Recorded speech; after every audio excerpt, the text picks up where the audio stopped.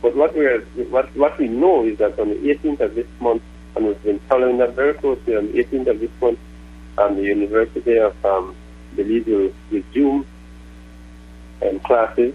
So we'll go and we will upscale on the, the number of officers we have patrolling and the timing to, to deal with this. So any to deal with any eventuality then. We want to pre- prevent crime, so we know that school is opening reopening on the 18th. We'll have all safety measures in place to assist.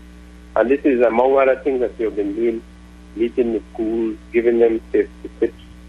This is preventive patrols. So we still have the, and we found that it, it was working. We still have um, uniformed police officers along with plainclothes, um, plainclothes officers, but separately, not together, so that um, we could get the, the, the crime as they occur. Sir, is there any word of advice? I know that as school opens, there will be a lot of new students from other parts of the country going to Belmopan. Is there any word of advice that you can offer them at, at, at this time in terms of staying safe?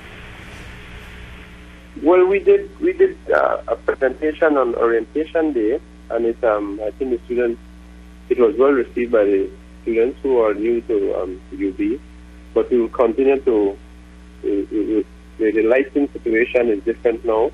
The trees were clear, but I ask that students don't carry valuables. Try to walk in groups.